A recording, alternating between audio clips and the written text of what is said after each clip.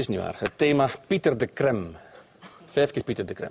Voor alle zekerheid heb ik twee kotszakjes eh, klaargemaakt. Ik leg die hier eventjes van. Oké.